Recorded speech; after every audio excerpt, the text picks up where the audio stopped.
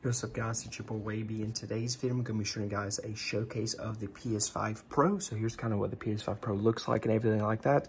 And like the UI of it, um, in case you guys are thinking about getting the uh, PlayStation 5 Pro. So when you load up, um, it's gonna just, it's gonna look like this, the UI. So you're gonna have your PlayStation Plus tab right here.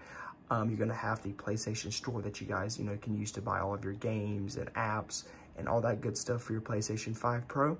Um, you're gonna see like a welcome screen right here. That's gonna um, look pretty cool. Kind of give you, uh, and you guys can go through this and you can customize widgets, change the background of it, and all the things like that. So that's pretty nice. Um, you can also simplify with different layouts and everything like that too. You guys are gonna see Astro's Playroom is already gonna be preloaded on your PS5 Pro, so that's pretty cool. So you guys, it comes with a free game. Um, you're gonna see your media gallery, your remote play, and your game library, along with um, app library, Discover, and all apps. It's like Netflix, Hulu, all that stuff that you guys can also download. Then, you know, you can search. Um, you're gonna see all the settings that it has on the PS5 Pro. Um, and you're gonna see like your profile as well. So you guys can like change your profile um, and all that good stuff. So it's basically, if you hit the PlayStation button too, um, you're gonna see the control center.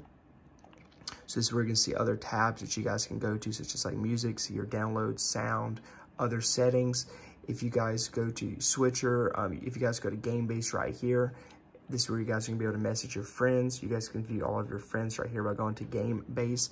You're gonna see your friends that you have here that you guys can message on parties and also messages that you guys have with other players um, and stuff. So it's pretty cool. Um, you know, the Game Base feature and you can also like your friend requests, search for players. Um, you can like see like current music playing right here. And all I'm doing is just tapping to uh, pull that up. Uh, you can switch or if you have multiple apps open, you can switch between them as well. You can view your downloads. Um, but yeah, that's kind of some of the features of the PS5 Pro. It basically is like the PS5 regular. Um, all the UI and stuff, it's different, it's the same. Uh, so yeah, just keep that in mind. But yeah, I do recommend the console. It seems good, but if you want to get a cheaper option, just get a regular PS5. But yeah, hope you guys enjoy this video, and I'm out. Peace.